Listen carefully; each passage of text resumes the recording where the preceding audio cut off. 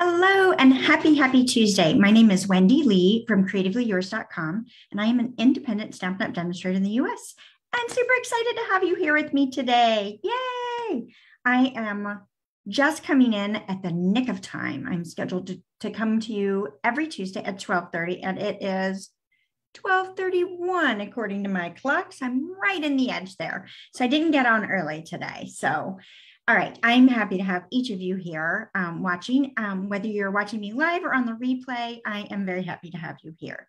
Okay, so a couple announcements before I get started because I want to make sure you're aware. Um, my awesome April event is going on now. I do this every year. And basically, what it is is for every $25 you spend with me before shipping and tax, you get to choose a goodie from my retired stash. There are so many awesome things, and there have already been many things taken. So be sure to get your orders in before April 30th and take advantage of my awesome April special. You can choose items from the last chance list that's out going on now through May 2nd. Now, if you've got items on that last chance list, uh, so those are items retiring out of the 2021 2022 annual catalog. Wait, I think I have it here. Oh, nope, that's the current one. There it is. This one. If you have items out of that catalog that you are wanting, be sure to get them before they're gone. Things are selling quickly, but there's still plenty of things to choose from. So you definitely want to get that in. Plus, you get extra goodies from my stash, right? So with a new catalog or with a catalog retiring, that means a new catalog is coming. And oh my goodness, we have some great things coming our way. And if you don't want to wait until May 3rd to get your hands on those, join my diamonds team and you can put some of these new goodies in your starter kit. Yay, yay, yay. Um, if you um, have shopped with me in the last year, you get a new catalog um, from me in the mail for free. I do need you to confirm your your address. Um, we're having some issues where the address is in the uh, Stampin' Up side of the site, and what we can see as a demonstrator is not always accurate. So I want you to confirm your email address with or your shipping address with me, please. And if you've not shopped with me before and you still want a catalog, um, reach out to me um, and we'll, we'll work that out. Um, I will have an in color club posting soon. Hopefully, I'll get this done this week, as well as um, I'm going to be holding designer paper share and a ribbon share as well. I've had people ask me about those as well. All right, what are we going to do today? We are going to play a little bit more with some of our decorative masks. So we are going to um, learn how to use embossing paste with them today. And we're going to color our embossing paste and change it up a little bit. So we're going to use the masks in a couple different way. I will show you that in just a moment. We'll switch the camera over, right? Oh, and don't forget, see that, that class behind me? That's going to be coming soon. And if you want to be in the know and know when all of my classes post, don't forget to join my email list. All right, I am going to switch the video over. Yay, and let's get started. All righty. Oh, good. So glad to see you guys here today. Whoops, I lost my place. Hey, Kay, Tammy, Mary. Hey, Dana, my friend Dana Sullivan. All right, so this is the project we're going to make today. And I don't know if you can see, see this up here, this texture right there? So it's a tone on tone um, with embossing paste. Look at that. You can see it's raised. And then we're also going to use the, um, the uh, decorative mask to create a collage of florals. So this is actually um, a project that we'll post on my blog tomorrow for the Around the World on Wednesday blog hop. So we had a challenge. Um, so if you want to check out the challenge and see my inspiration photo and all of that, be sure to uh, tune in to my website tomorrow morning. All right, so again, we are going to use the Butterflies and Flowers decorative masks.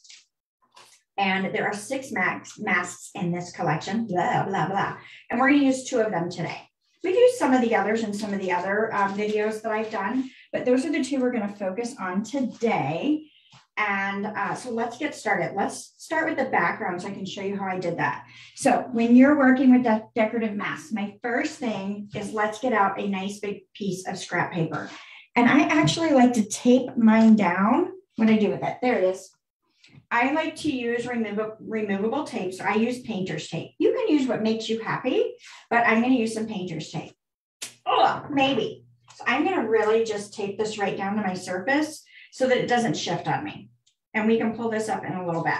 You could put it underneath in the middle if you prefer. I'm just gonna tack down the corners real quick. Next, I'm gonna bring in my So Saffron card base and let's go ahead and fold this in half and give that a nice good crease. All right, so get our bone folder there. Now, I want this to stay put. So I'm going to take some of my painter's tape and I'm gonna get some of the tackiness off of it with my fingers because I don't want it super sticky to the point that it tears my cardstock. I'm just gonna loop that around and I'm actually going to tape my card base down to my scrap paper, making sure my fold is at the top. Not that it really matters at this point, but it's okay.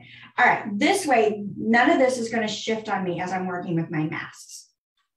All right, next, I want to tape the mask right down onto my cardstock, right? That way it doesn't shift. So let's grab in a little bit more painter's tape and it's slightly larger than my card base, but not crazy amounts larger than my card base. So I am going to add some right here and I'm kind of just tacking down the edge. I just don't want it to shift on me is, is, is the only thing I'm looking for here. Whoops. And I forgot to take the tacky off. So that means it may rip the paper, but it's okay. It's scrap paper. It's not going to hurt anything. All right. So now we are prepared. I do have a paper towel as needed um, here because we may need that as well. So let me show you how I colored the embossing paste first. So I keep my embossing paste in a container. I know it seems silly, plastic container. Inside the bag that it comes in, the little Ziploc, I found if I don't keep it double, double um, protected, I guess, airtight, it dries out super fast once you open it. So um, if I keep it in the bag and put it in a plastic container, I have great results with it. So there's a lot of paste in here. So we have two colors right now. We have a plain white and a shimmer white. And I love both. I have plain white here, and then I've got a palette knife, and you can see it's like icing, right? And so I'm just going to take some out and I actually already have some mixed, but I want to show you how I did this. So for what I'm doing, I'm just going to take about that much. And I've got an old container. So this actually had um, embossing powders in it. So I've got an old container and that is actually still in pretty good shape. So I'll be able to use that again today. So I'm going to put my paste in my container. Let's go ahead and close this up because I don't want this exposed to air any longer than it needs to be while I'm not using it. So I'm, I'm literally putting it back in the Ziploc bag and I'm gonna put it back in my, my plastic container. So I'm double protecting it so that it doesn't get the air so that it doesn't dry out. All right, now, because I'm dealing with a really light color, I'm gonna take a re-inker and I'm gonna drop in one drop. Now, you could do more if you wanted, depending on the color and, and how deep you want your color. I am using So Saffron, which will match my card base because I want a tone on tone appearance. And then I'm just going to use this knife. You could use a plastic spoon, whatever makes you happy. This is what I'm going to use to apply it to my card base. Whoops, sorry about that. I got a little crazy with my uh, stirring here. Messed with the camera. All right. So I want to make sure that's stirred in really well and it's the color I want it to be. And it is. And I'm not going to do a ton, so this is why I don't have a bunch of um, paste. Now, what I want to do is I want to add some of this embossing paste right to my mask. And I'm just going to take my little tool here and spread it out. Now, you can put as little or as much. You can do the whole surface if you want. You can do just part of the surface. I'm just going to do a little bit. I am not worried about this being solid, solid uh, design, right? I don't care if it's partially, I think that adds some coolness factor to it. And I'm just doing opposite corners. And again, you can do as much of the card base as you want or as little as you want.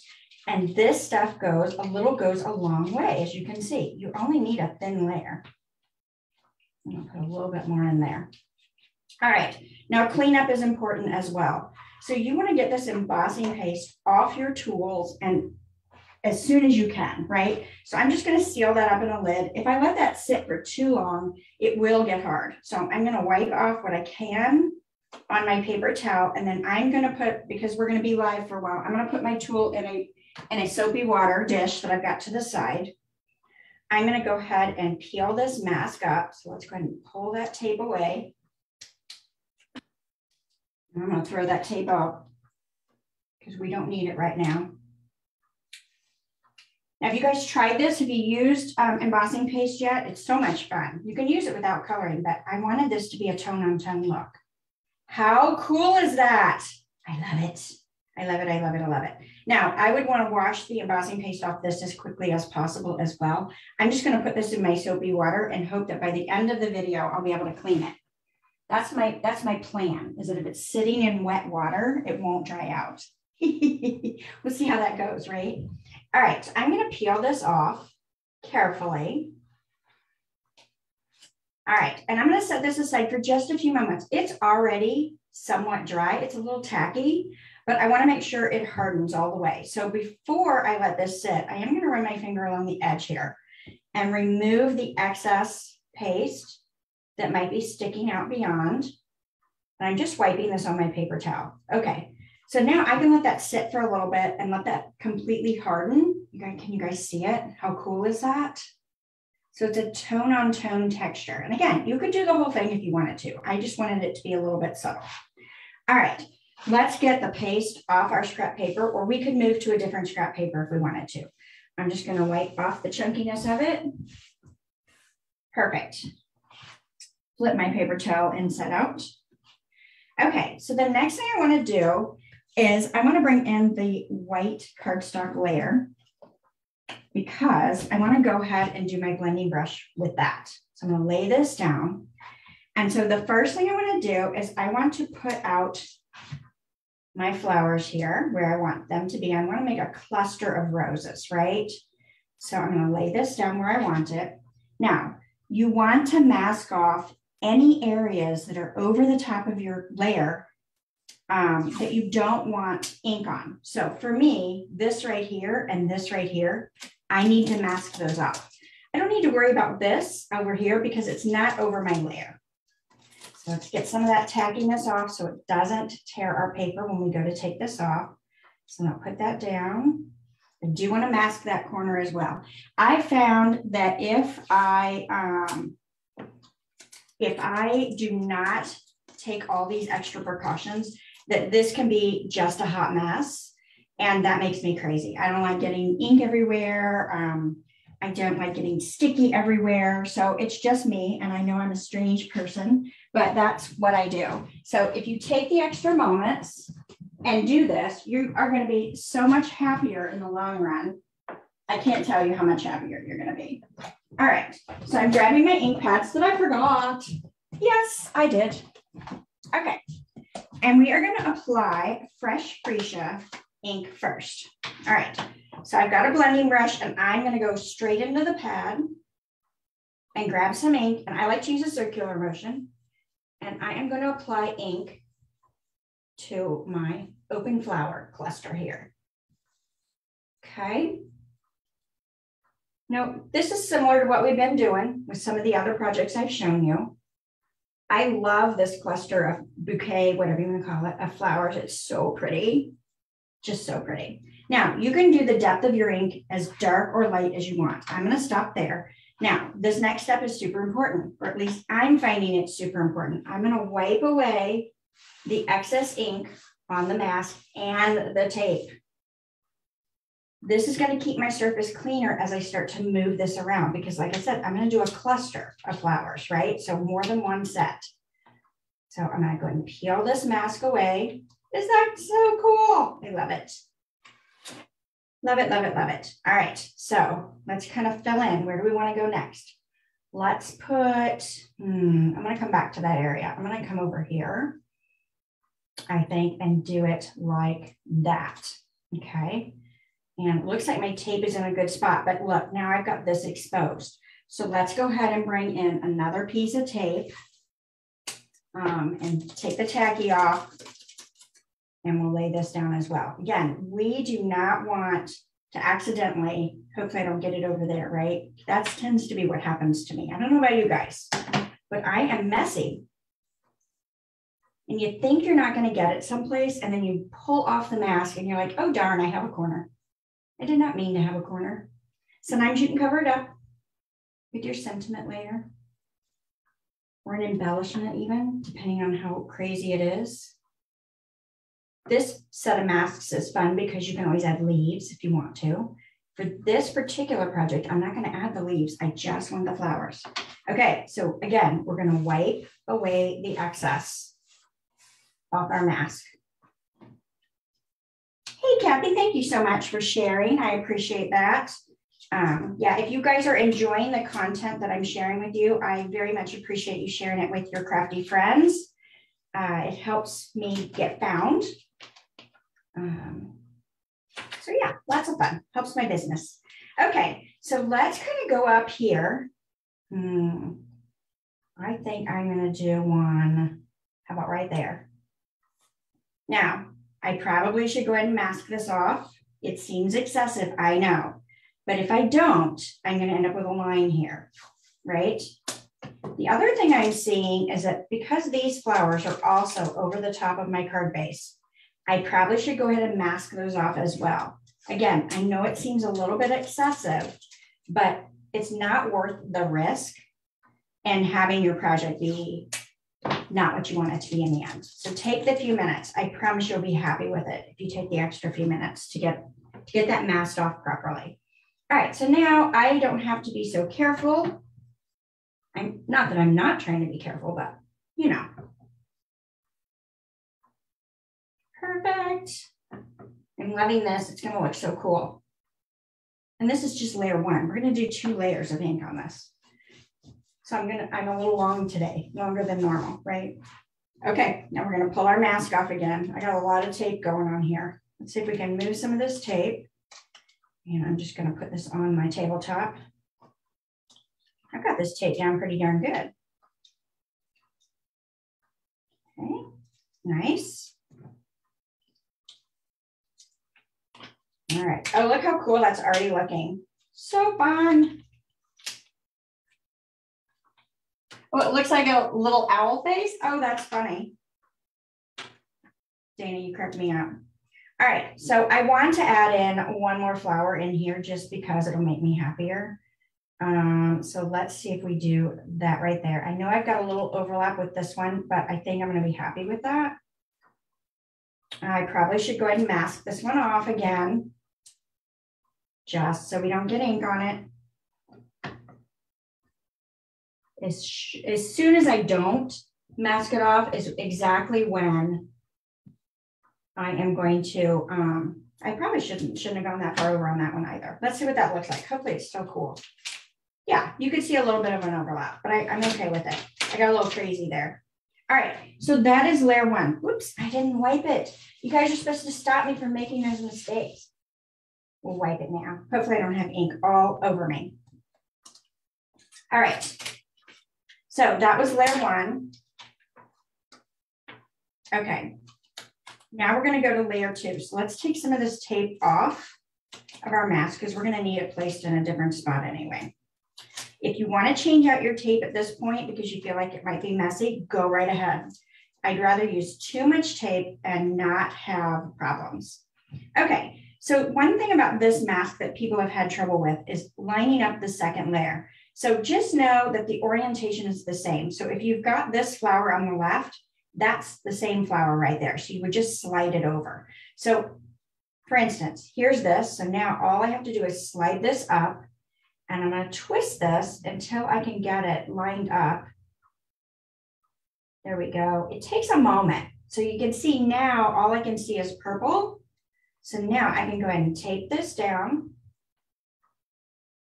Um, let's grab this longer piece here. And now I'm ready to apply my second color. Now, if I were going to change colors, I could change blending brushes. This is a purple, and I tend to just use the same blending brush for purples. Since I started lighter, I don't really need to run this off, but you can see I've got ink all in there. I'm going to go ahead and go into Highland Heather, and I'm gonna add a little bit of darker color onto this. I don't wanna go too crazy dark, but I do want it darker.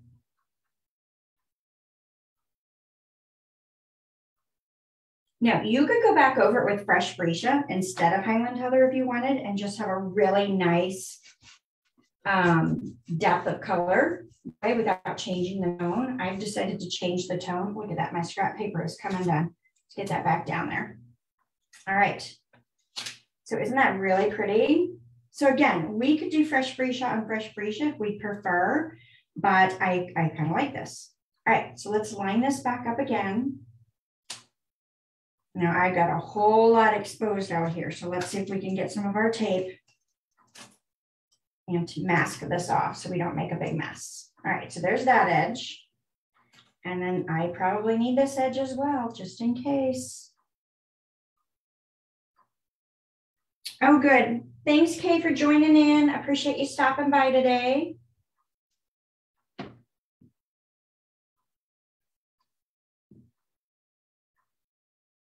So if you guys are enjoying the um, the decorative masks and would like to learn more, I do have registration going on now for my Butterflies and Flowers decorative masks class. That ends on Friday, this Friday. So I'd love for you to join me. I'll give you a peek of those projects here in a bit. And then I'm also teaching another cool technique, or at least I think it's cool, uh, at Maker's Mojo using the decorative masks as well. So Maker's Mojo is a partnership I have with my friends Melissa Kerman, Audra Monk, Anne Marie Heil, and Joe Blackman. And it's an all day stamping event. If you can't make it live, it's not a problem. We send out the uh, video and PDF tutorials after the event. Um, but it is an all day crafting online event. So, and our goal is to show you all kinds of different things. So we might teach a technique or a fold.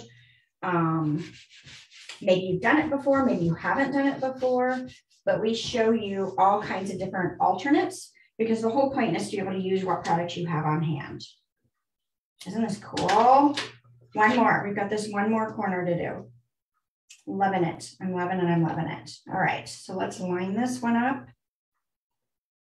Got to find my alignment here.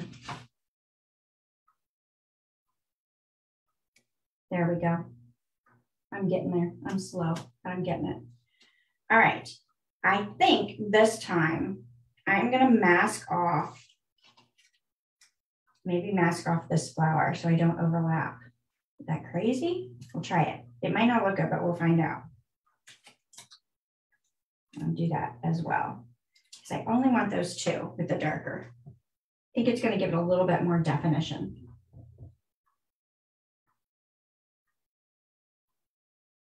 All right, perfect.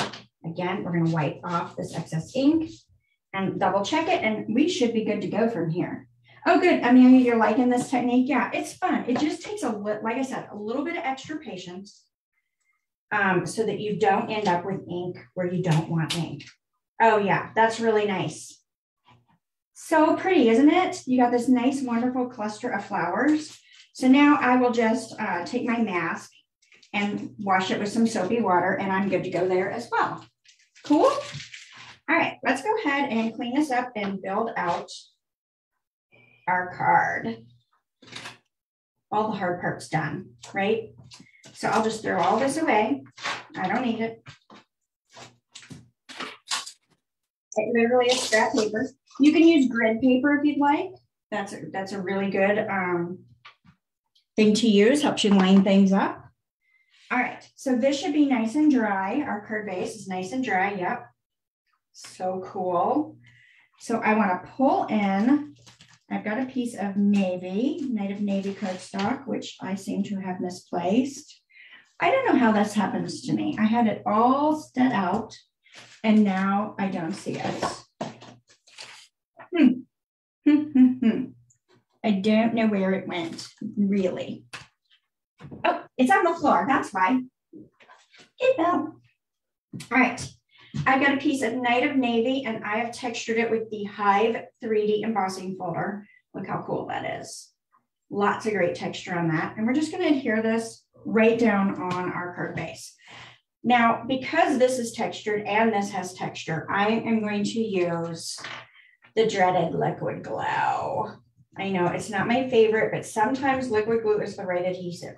You could use Stampin' Seal, but my concern is with the textures going on is that it actually wouldn't adhere very well. So I'm gonna go ahead and back off and use the liquid glue there. All right, cute. Let's slide that over a little bit. Ever so slightly. Okay, cute, right? So now you can see that texture, those different textures peeking out. Love it, love it, love it. All right, and then this layer here, I'm going to go ahead and layer this on fresh freesia cardstock. I want a subtle border. We'll just use our Stampin' Seal for that. Oh, Gwen, good. I'm glad you like this one. It's it's really fun. These masks are so much fun. If you don't have them, they're super inexpensive. I think it's $10 for the six pack. Um, and they're just so fun. There's so many things you can do with them. Think I'm gonna change my orientation so where I've got a little extra ink down here that I'm gonna put it over in that corner. So let's go ahead and pop this up with some dimensionals. I'm long today. I'm not, I, I'm usually under 30 minutes, but I'm long today, just a bit. This technique takes just a little bit longer because, you know, there's so many nuances to keeping it clean. All right, so that's down nicely. Next, I've already prepared my sentiments. So I've used the potted succulent dies and I've cut uh, this label with Night of Navy and I stamped my sentiment from the um, potted uh, Simply Succulent stamp set and uh, die cut that out of that label. So that's the coordinating stamp set with these dies. I did not remember to grab that. If you guys want to see it, if you're not sure which one I'm talking about, let me know and I'll, um, I'll run across the room and get it. I am going to use liquid glue to put this label down. You could use Stampin' Seal. It doesn't really matter. Oh, look how awesome that is. I love it. All right, and then of course we're gonna use dimensionals to pop up our white label. Why not? We can. Now you guys don't have to use dimensionals on all the layers that I use dimensionals on. I like it. Whoops. Perfect. Two more. Pop that off. All right, we'll pop that right on the front. So pretty. Now, I used the Fresh Freesia ribbon, woven ribbon on this, and I actually cut it in half. I don't know if you can see that. So I cut the ribbon in half. Um, but I used all my ribbon and I haven't gotten more that has arrived. So my box, it hasn't shipped yet. So I'm going to change this up a little bit and I'm going to pull in one of our brand new ribbons that's coming our way in May. So May 3rd, we're going to start to see this starry sky.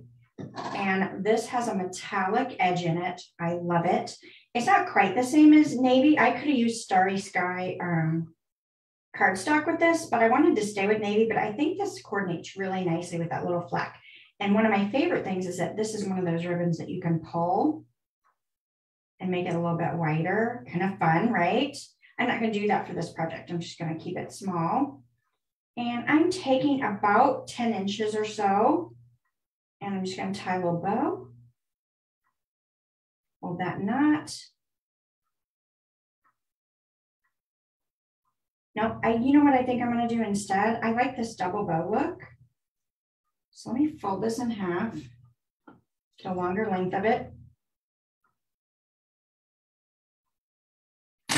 So now I got two pieces right? Let's move that out of the way so you guys hopefully can see me. See if I can get a little closer. make my loops, crisscross, up through the hole. Nice. Now, still, I'm going to hold that knot, hold this. My friend Dana, I don't know if she's still on here, but she had shown us a really cool way to make a double bow um, at one of our Blue Ridge Stampin' Escapes. And I still can't do it. I have to watch the video every time. I can't remember how to do it. Someday I'll learn and I'll show you guys. All right, so I love that. I love all that extra sticking out. So let's go ahead and clip those ends off. We don't need all that excess there, right? And then I'm just gonna tuck this knot right in the edge of that label there. So let's grab our take your pick because I don't like to touch the glue dots. They remind me of boogers when the kids were little. I know that's gross. All right, and I'm just gonna lift that ever so slightly, push that knot right down into the glue dots, and then we've got this little sprig off the side. Kind of fun, right? Changes it up a little bit. So on this one, I did fresh freesia on fresh freesia. On this one, I did fresh freesia with Highland Heather over the top. Pretty sure that's what I did. Well, I say I had Highland Heather on the first one, but it looks different today, doesn't it? Maybe it's the depth of the freesia I did. All right, let's finish this off with some in color jewels. Sad to see these going. These are on the last chance list. All right, so I'm just gonna dump the bag out. I have partial packs. And let's grab some of the freesia ones and put that on the part of the card where I have got the floral images. And then I'm gonna take, technically it's pale papaya, but when you put it on the so saffron, it coordinates really, really nicely. So I'm just gonna put a couple of these pale papaya gems right down. You know what? Let's add another freesia. Let's add a small one right there. So I've got like a little sprinkling of gems on that one side, and then we can clean this all up. Cool. Oh, you haven't gotten your pre-order yet? Oh yeah, the ribbon is super pretty. It's gorgeous. So all five of the new in colors are, are just fantastic. So I will have um, an in color club, uh, paper and ribbon share. Hopefully I'll be able to announce those, um, get that information out to my email list in the next um, week. So if you're not on my email list already and you want to be in the know, definitely uh, sign up for my email list. The link will be in the description of the um, um, video when I'm done. All right, let's finish off the inside. Now I kept it really simple on the inside and I'm just going to layer uh, some white over some navy and pop that in there. Now you could totally use the blending brushes and add some more of the floral element on the inside, um, or you could stamp it if you want to. I figured I was going to be pretty long with you guys today, um, longer than normal. Um, so I didn't want to keep you here overnight, right?